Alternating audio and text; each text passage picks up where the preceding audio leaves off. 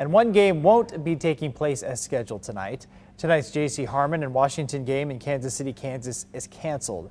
The district said on Facebook that some student athletes are quarantined following a possible COVID-19 exposure. And taking a look now at the very latest COVID-19 case numbers in the metro. In Kansas, the monthly positivity rate is down to 10.1%. That's still high compared to the beginning of July. And also in Missouri, the spread of COVID-19 is dropping slightly. Positivity rate is down to 12%. And new data from the Kansas City, Missouri Health Department shows a troubling trend with COVID-19 cases in kids.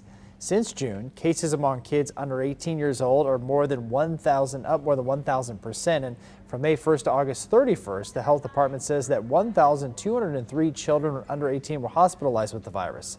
Health officials say community spread, unvaccinated Kansas Citians, and easing safety precautions the result for the high case numbers.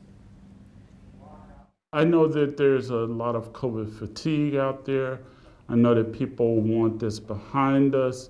Um, but we are still in the middle of a global pandemic.